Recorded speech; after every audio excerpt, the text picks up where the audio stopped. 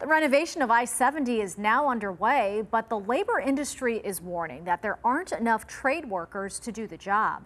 Our Missouri Chief Capitol Bureau reporter Emily Manley explains their concerns and what this predicament means for the public.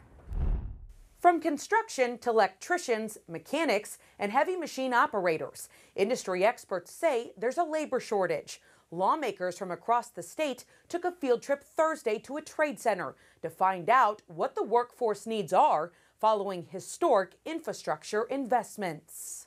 One of the things both sides agree on is that we have some real concerns about where the future of our workforce is going to come from. You don't have to be a Republican. Yeah, I'm concerned that we don't have enough in real time. Uh, also concerned that we don't have enough training. Or Democrat to know there's a trade worker shortage. We've kind of gotten behind the eight ball as a nation when it comes to infrastructure and, and keeping it up to par.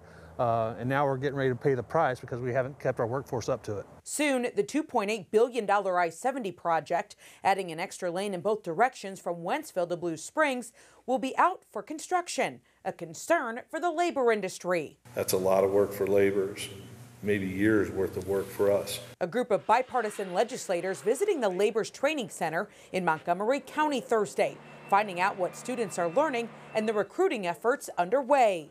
So we are out there uh, hitting the pavement, shaking all the bushes, trying to, to tell our story to try and get young folks and folks interested in the construction industry to bring them in.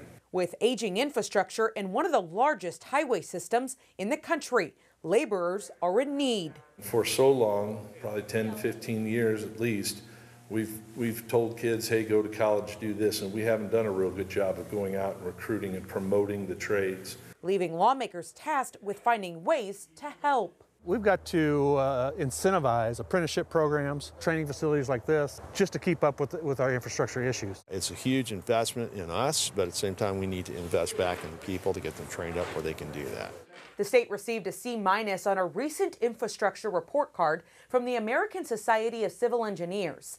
Missouri currently ranks third in the country for apprenticeships. Reporting from Missouri Capitol Bureau, I'm Emily Mann.